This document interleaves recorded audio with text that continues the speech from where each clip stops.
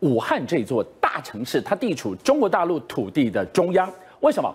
它到上海、到北京、到广州、到西安，约莫都在一千公里的这样的距离，重中之重的地理中心，现在变成传染病的中心了。我特别请马老师带我们来看到这个病毒的镇压，怎么会出现这么致命的巧合？居然还传出了这个武汉肺炎的那一只病毒，可能来自解放军。全球警戒，全境封锁，所以全力防疫。全力防疫里面很重要的一个东西，源头。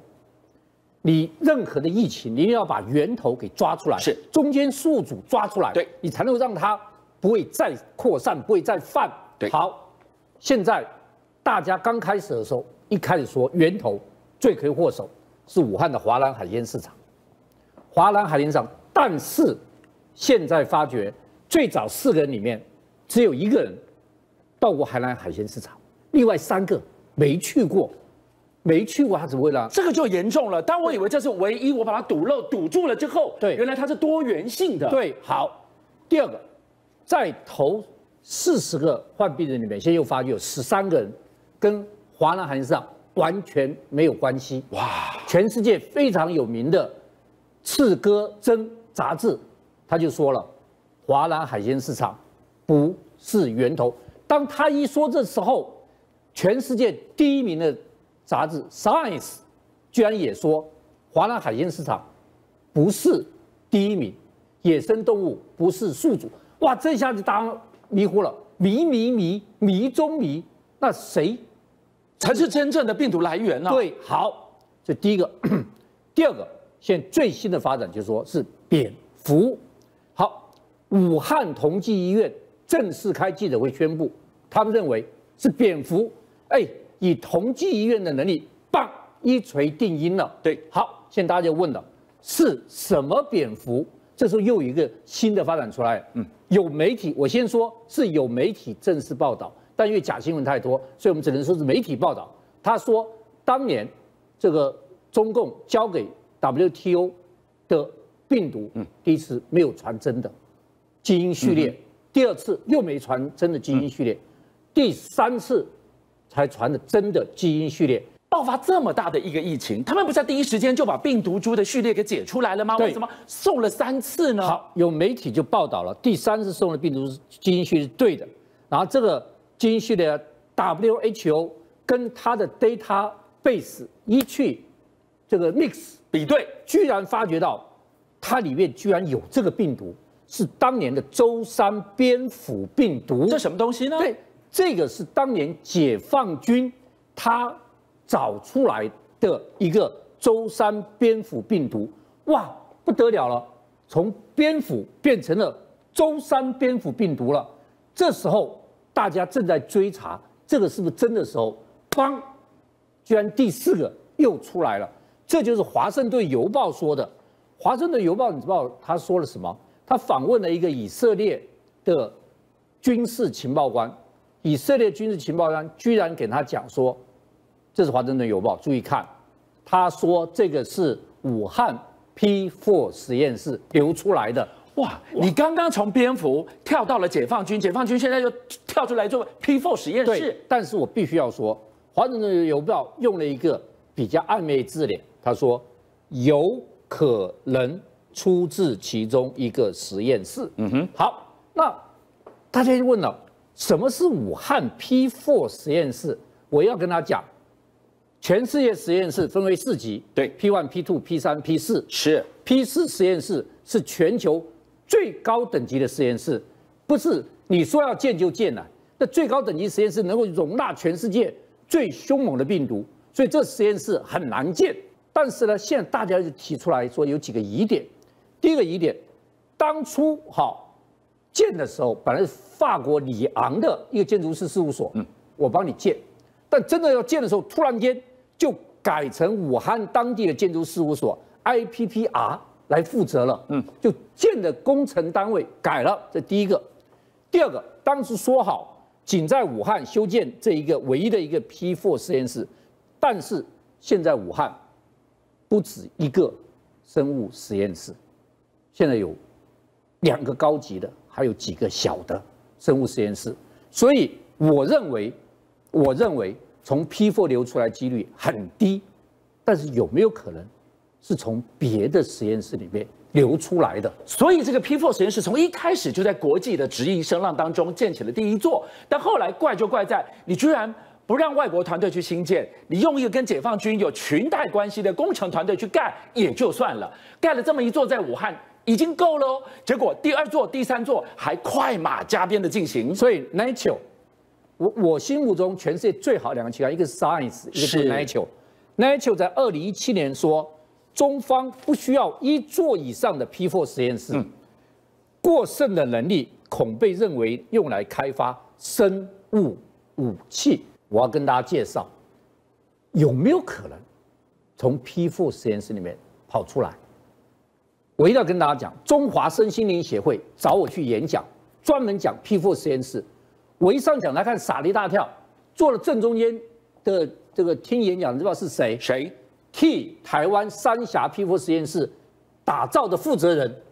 哇，马老师的这场演讲 耍大刀了。他坐坐在下面 听我讲 P4 实验室，哇！好，各位看，这是武汉的 P 这个 P4 实验室。我一定要跟大家讲，第一个，它是四层四层，但它在里边四层是什么？是是悬挂式的，悬挂式的建筑。对，四层里面是悬挂式。那，为什么悬挂式？对不起，地震没办法把我震了，我是悬挂式。强烈台风没办法，它就是晃一晃，它不会垮的，它不会垮的。这第一个，第二个，悬挂式隔空，嗯，隔绝。对，好。它真正的那个病毒实验，它当病毒有好几个几个细胞实验室、解剖实验室的，但那个核心是在二楼，在二楼那个只能天罗地网，是黑，外号叫黑洞，是你进不去的黑洞啊，黑洞，它只能把东西往里面吸，超级负压隔离病房的概念了。对对，超级房。好，我等下给你们讲。那它这个第一层呢，它是污水处理跟生命维持系统，所有的脏水都要从这边，是这水经过这边全部是无菌的。对，第。三楼是什么东西？三楼是过滤系统，所有东西经过过滤。四楼是空调系统。好，我一定要跟大家讲，你如果想要进二楼实验室，你大概花半个小时，进去要花半个小时，出来要花半个小时。你知道为什么？第一个，你要脱光光，是所有东西都不能有。内衣裤也要换吗？全部都要换。假如你要脱光穿太空衣，他们叫太空衣，对，它卫生就跟太空衣一样。是。那如果你觉得你穿这个不穿？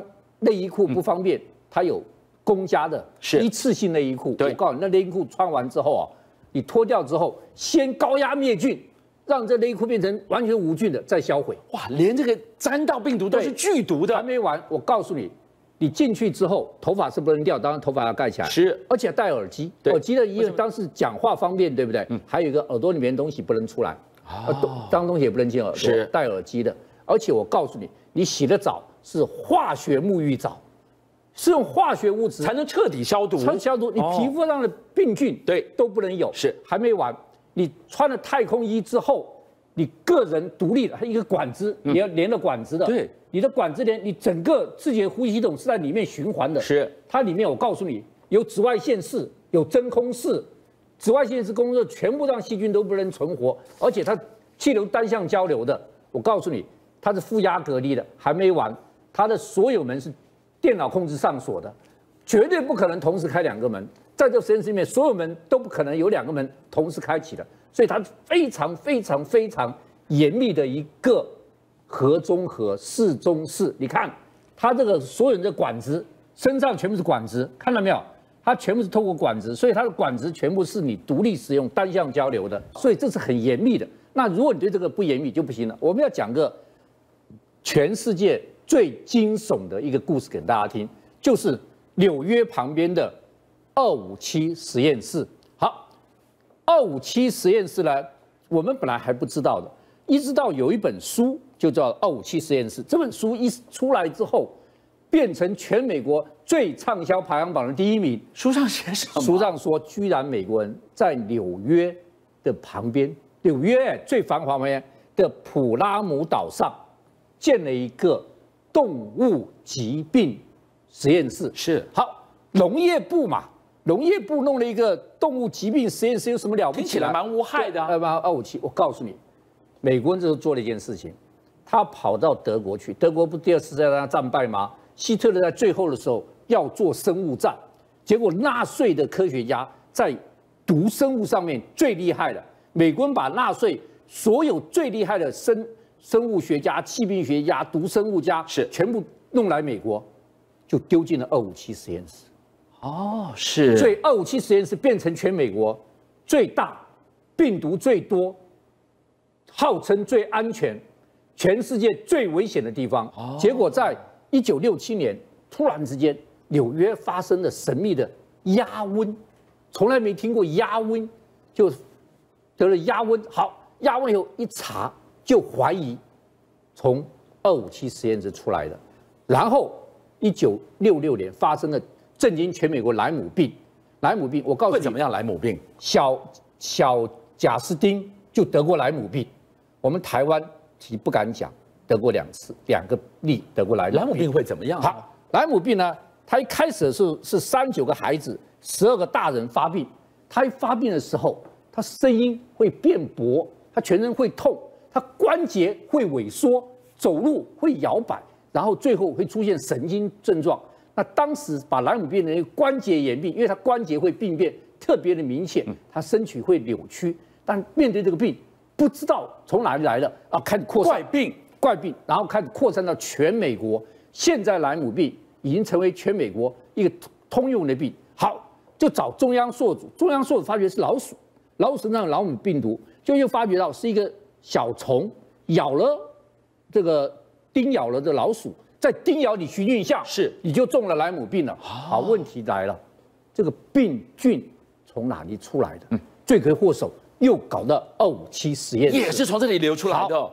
一九九九年发生纽约发生更离奇的事情，十三匹马趴下，十三匹马暴毙，暴毙耶，集体暴毙，集体暴毙，然后一查，居然是西尼罗河病毒，一查这没不可能，是只在非洲才有啊，我们美国没有西尼罗河病毒啊。这时候十三匹马一暴毙之后，发觉到第一个有人得这个病，人得这个病，然后就在人得这个病的同时。